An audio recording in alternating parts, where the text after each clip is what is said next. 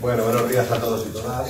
Soy Juan Carlos Pérez, consejero técnico de la Subdirección General de Cooperación Territorial y Innovación Educativa del Ministerio de Educación. Es el tercer año que yo personalmente pues, llevo la coordinación del programa del Ministerio. Así que un placer para mí estar aquí y algunas caras también. Algunos centros de cuando toca, nos toca ver la memoria y, y nos cuenta. Eh, yo soy docente también, porque a veces cuando se habla del ministerio parecen funcionarios ahí y más. Soy docente, estamos en comisión de servicios en el. Bueno, eh, en primer lugar, comentaros que, para los que es la primera vez, que este es un programa que lleva muchos años en el ministerio, tiene un convenio de colaboración con la Fundación de Judy Menuhin. Se inició cuando en los años, en los años 90, 96, 97, eh, cuando era también territorio MEC entonces, con la idea de implantar el programa USE a nivel nacional. Estábamos diciendo, es la primera vez que me toca eh, presentar hacer esta inauguración sin que esté Enrique, Enrique Barón, que es Anabel, presidente de la Fundación y que empezó el programa y es un placer escucharle, ¿no? esa visión histórica.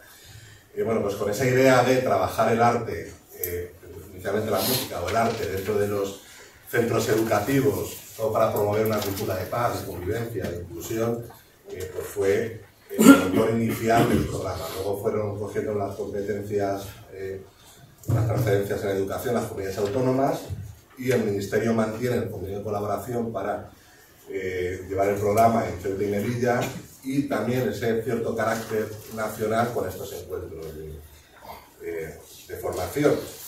Forman parte también del convenio que mantiene el Ministerio con la Fundación junto con parte de recursos también de, la Fundación. Es decir, que aunque nosotros el Ministerio tenga competencias en el resto de comunidades, esta idea de los encuentros MUSE es algo que también el Ministerio se quiere promover. ¿no? Este Luego específicamente en Ceuta y Melilla, que justo hace una semana, aquí está una compañera de, de, Ceuta, yo estuve en Ceuta, conocía mucho de los centros, eh, cuando me comentan a ver o cuando estoy en los encuentros MUSE, pero ver directamente eh, algunos centros el programa de una ciudad tan rica y tan diversa como es Ceuta, pues lo tengo muy reciente, ¿no? Luego ya cuando Maika, que está por el ponente de su, de su centro, pues ya os, os comentará más específicamente.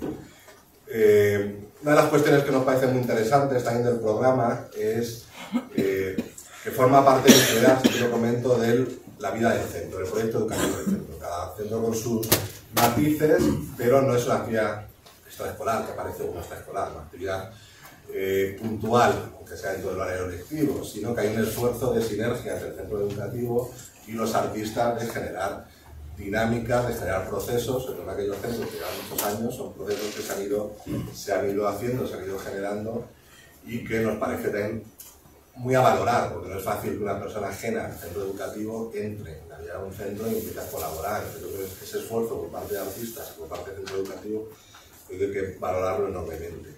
Y luego la aportación, pues te voy a comentar, que vosotros sois los que estáis con, en el día a día, la aportación que hace trabajar una metodología desde el arte, que permite, me gusta resaltar dos aspectos. Uno a nivel individual de, de los niños y niñas, los artistas lo sabéis más, es decir, cuando alguien se enfrenta a un proceso creativo, se enfrenta o se acerca de toda su globalidad.